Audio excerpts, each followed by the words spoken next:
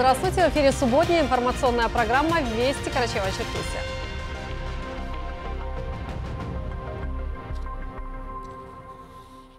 Сегодня в Карачево-Черкесию в рамках экскурсионного тура прибудет туристический поезд «Жемчужина Кавказа». Республика вошла в число четырех субъектов макрорегиона, включенных в путь следования популярного круизного поезда. Он примечателен своим маршрутом и алгоритмом движения. Турист может отправиться в семидневное железнодорожное путешествие на комфортном круизном поезде и посетить сразу семь городов России, четыре из которых расположены на Северном Кавказе. То есть расписание экскурсионного тура рассчитано так, что каждый новый день турист посещает новую локацию, а ночью выдвигается уже к следующей, используя поезд в качестве отеля отеля на колесах. Экскурсионный тур позволит туристам посетить главные природные достопримечательности Северного Кавказа, погрузиться в культуру и традиции народов, проживающих в макрорегионе. Сегодня в Карачево-Черкесию прибыли 200 человек. Для гостей предусмотрен турпакет с посещением курорта Домбай с возможностью поднятия на канатных дорогах на гору Муса-Ачитара. Полный зал оваций и пожеланий театр из Донецка приехал в Черкесск со спектаклем «Я знаю правду». Зрителям была представлена постановка по мотивам книги «Война в Донбассе. Народная летопись». История о трудных днях в условиях боевых действий с 2014 по 2017 год на Донбассе. Дарья Тендит расскажет подробнее. Сколько убит, сколько раненых, скольких инвалидами сделала эта война, развязанная Украиной. Сколько сирот оставил? Заглушающий грохот взрывов и страх за свою жизнь. Я знаю правду, это даже не спектакль, а документальная драма. Все монологи на фоне страшных кадров видеохроники. Обстрелы, разбитые дома, покалеченные, убитые мирные жители Донбасса. Война в Донбассе, народная летопись.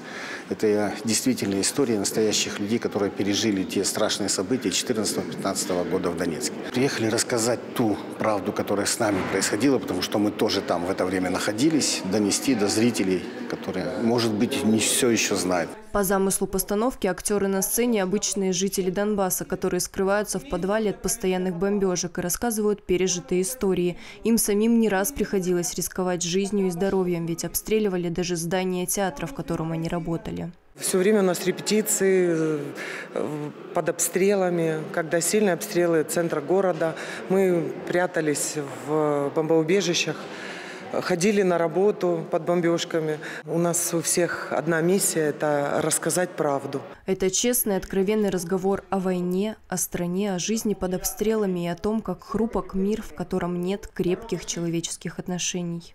Чем дольше идет война, тем больше пропасть между воюющими. Все устали от войны. Устали от лжи лицемерия тех, кто ничего не знает о войне, не видел ее собственными глазами, пишет о ней всякую ахинею. Вы приезжайте, под свисты пуль ломаются судьбы, под взрывы снарядов разрываются сердца. Но в нас, во всех нас живет вера и надежда, что мы будем жить под мирным небом. В зале филармонии не было ни одного равнодушного. Постановка очень растрогала зрителей. Они сопереживали и поддерживали актеров, а в конце глаза каждого были полны слез. Очень тяжелый спектакль именно эмоционально. И люди, которые это пережили, очень сильные. Становится страшно, что где-то это происходит каждый день, где-то умирают люди, умирают дети. Вот за эти полтора часа дает возможность погрузиться, почувствовать боль и задуматься над тем, что мы можем сделать, чтобы помочь как можно скорее закончить эту войну. С самого начала и до конца проплакал, потому что, потому что это, я не знаю, как люди, правда, выносят, как они столько лет они держатся. И я просто восхищаюсь этими людьми. Дарья Тенди, Талиба Станов, Вести Карачаева, Черкесия. Сейчас о погоде на выходные, а после мы продолжим.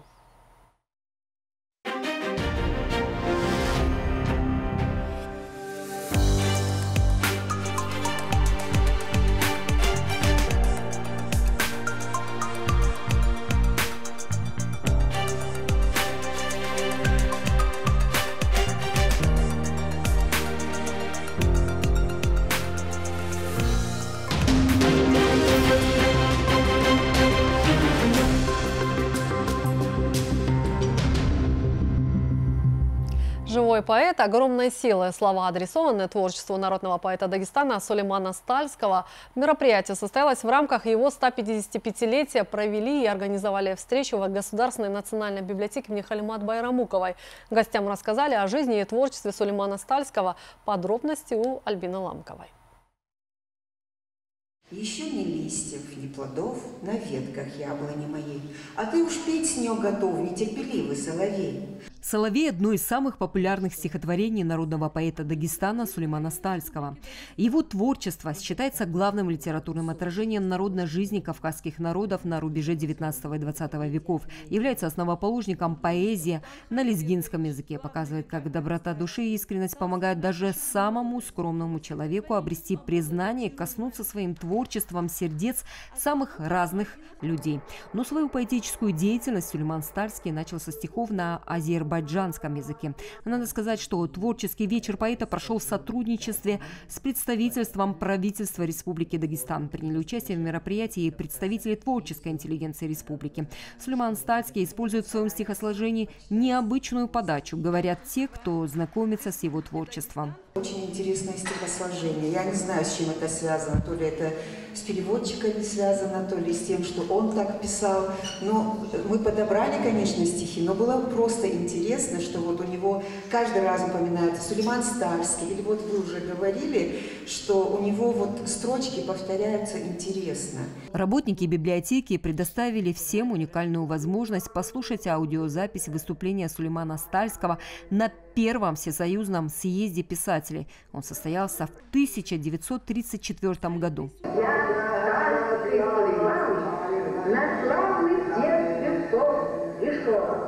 На творческий вечер народного поэта Дагестана Сулеймана Стальского была приглашена и молодежь. Интересно было слушать его родной язык – лезгинский. Декларировала его Илина Вагидова.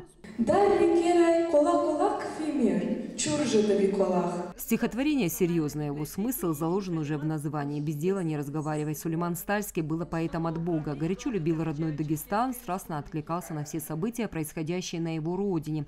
Поэзия Стальского современная и звучит актуальной в наши дни.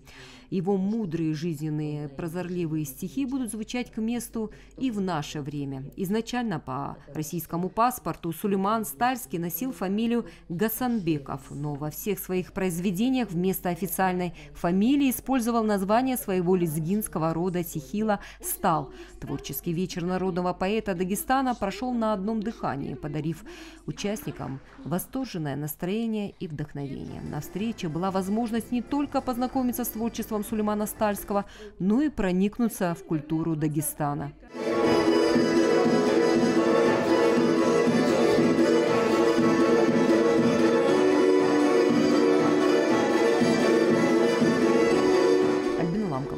Олег Малхожев, Вести Карачаева-Черкесия. Празднование столетнего юбилейного года одного из главных печатных изданий республики газета «Черкес-Хэку» началось в ритме спортивного духа. Волейбольный турнир юных любителей зрелищной игры в честь любимой газеты стал подарком от лица спортивного сообщества Хабесского района. Пришелся ли президент по вкусу работникам пера и бумаги, узнавала Фатима Даурова. Спортивный зал физкультурно-оздоровительного комплекса «ХАТ» в Аулихабе стал местом встречи шести волейбольных команд, представляющих родные пенаты, образовательные учреждения аула Валибердуковский, Зиюка, Бавука, Малый Зеленчук, Псаучедахе и Хабез – в руках капитанов команд дощечки с надписями, символизирующими название печатного издания в разные периоды его становления. Такой тонкий знак внимания пришелся особенно по душе виновникам торжества, коллективу газеты «Черкесхак». За эти сто лет газета несколько раз меняла свое название. И эти команды сегодня вышли именно вот со старыми э, названиями, которые раньше носила наша газета. Это было очень приятно. С приветственными словами к участникам турнира обратились представители районной администрации и самой газеты, ветераны спорта, которые рассказали молодому поколению об истории национальной газеты, о важности тех задач, которые она выполняет в вопросах развития и сохранения родного языка, традиций и культуры черкесского народа. Что для нас э, важно, здесь участвует именно молодое поколение, которые, которые на наш взгляд, действительно дальше должно знать и продвигать историю своего и народа, историю своей газеты, единственной газеты, которая выходит на черкесском языке на территории Карачаева-Черкесии, единственного государственного издания, которое сохраняет язык и культуру нашего народа. И вот наступило время для захватывающих и зрелищных партий. Волевая игра, требующая от волейболистов не только индивидуального, но и командного подхода к самому процессу. В некоторых местах равное по силе, в других напряженное, сменяющее лидеров из-за допущенных ошибок или дающее возможность догнать вперед идущих по счету. Все зависит от профессионализма и, конечно же, удачи, ведь ее никто не отменял. Уровнем развития волейбола на данный момент в Хабесском районе гордятся как ветераны спорта, так и любители активной игры. У нас в Хабесском районе волейбол э, развивается в ногу со временем, можно так сказать. У нас где-то по району занимаются 200, 250 человек, э, занимается э, на любительском уровне. Это очень радует. Девочки и мальчики всегда в хорошей физической форме. Я очень рад. Вот сегодня вот молодые ребята играют. Им, они сейчас школьного возраста, но в будущем они будущие волейболисты. Еще, конечно, им расти и расти. Но молодцы. Вот те тренера, которые работают с ними. Вот в Беслине есть тренер, раньше не было по волейболу. Есть э, в Малом Зеленчуке, есть в Хабезе, есть в Алибердука. Я очень рад этому. Волейболисты из Хабеза продемонстрировали впечатляющие прыжки и удары, которые с сочетанием с волей к победе обеспечили им первое место турнира. На втором оказались их соперники из аула Алибердуковский. Третью позицию заняла команда из Бавука. Все участники турнира были награждены кубками, медалями и грамотами в честь векового юбилея родной газеты. Фатима Даурова, Мухаммед Ашибока, Вести, Карачаева-Черкесия.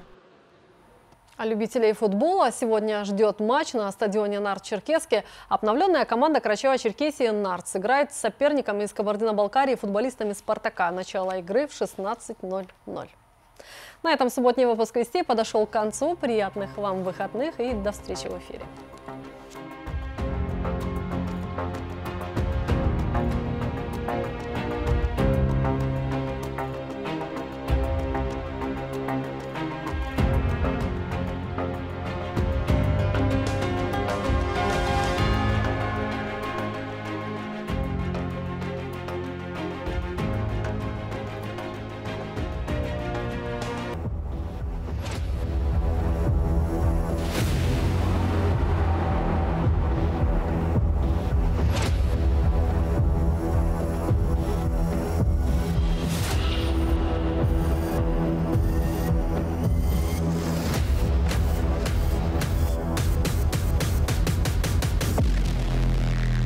Приглашаются кандидаты для прохождения военной службы по контракту. Поступая на контрактную службу, вы выбираете честь, отвагу и доблесть в качестве своих жизненных принципов. Служба по контракту – это стабильность для вас и вашей семьи, достойное и гарантированное денежное довольствие, жилищное обеспечение, современное обмундирование, серьезная профессиональная подготовка, новейшие системы и комплексы на вооружении. Стань героем для своей семьи для своей страны. Делай то, что действительно важно. Обращайся в военный комиссариат по месту жительства или пункт отбора на военную службу по контракту по телефону 8 86 52 24 99 51.